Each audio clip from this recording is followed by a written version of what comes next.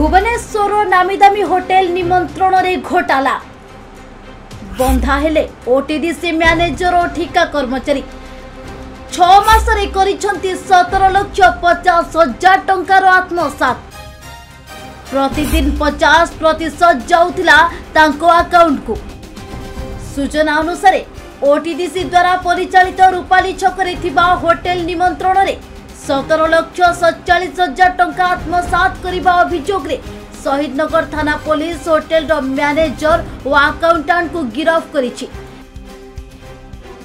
ସେମାନେ ହେଲେ ନୟାଗଡ଼ କଣ୍ଟିଲୋର ସୁନୀଲ କୁମାର ଘଡ଼େଇ ଓ ଜଗତସିଂହପୁର ତିର୍ତ୍ତୋଲର ରାଜା ଓରଫ ଅର୍ଦ୍ଧେନ୍ଦୁ ଶେଖର ମହାନ୍ତି ସୁନୀଲ ଓ ଅର୍ଦ୍ଧେନ୍ଦୁ ହୋଟେଲର ଟଙ୍କା ଧୀରେ ଧୀରେ ଚଳୁ କରିବାରେ ଲାଗିଥିଲେ ଓଟିଡିସି ପକ୍ଷରୁ ଅଡିଟ୍ ହେବା ସମୟରେ ସତର ଲକ୍ଷ ସତଚାଳିଶ ଟଙ୍କା ନିଅଣ୍ଟ ହୋଇଥିଲା ତେଣୁ ଓଟିଡିସି ଡିଏମ୍ ପ୍ରଶାନ୍ତ କୁମାର ପଣ୍ଡା ଏନେଇ ଶହୀଦନଗର ଥାନାରେ ଅଭିଯୋଗ କରିଥିଲେ